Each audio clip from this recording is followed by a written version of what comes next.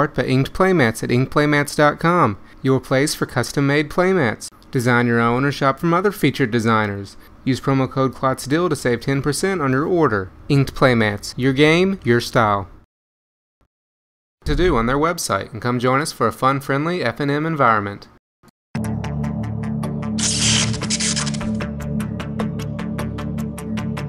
Hello everybody, this is Kevin from Klotz Productions and welcome back to Game 3 of the match between Zombie Pod and Tezzeret Control. Korey started on the play by laying down a Blackcleave Cliffs and then using it to cast a Diregraf Ghoul, and Shower just laid down a Swamp. Korey attacked with his Ghoul, taking Shower down to 18, then post-combat he played a second one and put a Woodland Cemetery in the play.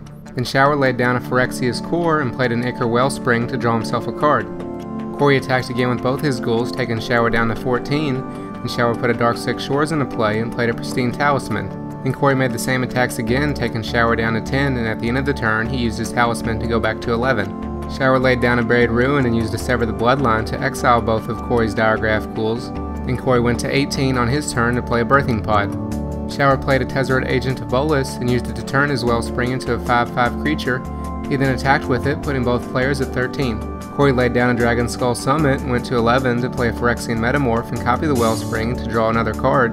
Tara used his Tezzeret again to turn his Talisman into a 5-5 creature as well. He then attacked with both of them, taking Korey down to 1. Then post-combat, Shower played a Distress and forced Korey to discard a Falkenrath Aristocrat. Korey then played a Crypt Creeper on his turn, and then at the end of the turn, Shower used a Go for the Throat to kill it, so Korey then used a Doom Blade to kill one of Shower's creatures, and then used the Tragic Slip to kill the other one. Shower laid down another Phyrexia's core and then played a Nihil Spellbomb. He then used his Tezzeret to find another Pristine Talisman, which he went ahead and played. Then he followed it up by gaining another life playing a Mimic Vat.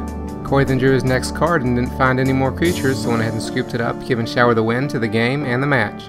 So that's it for this match. I hope you all enjoyed it. You can find the full version in the annotations at the end, along with links to my blog and my Let's Play Duels of the Planeswalkers 2012. If you like this or any other video, be sure to give it a thumbs up and add it to your favorites, then subscribe to be notified when more videos are online.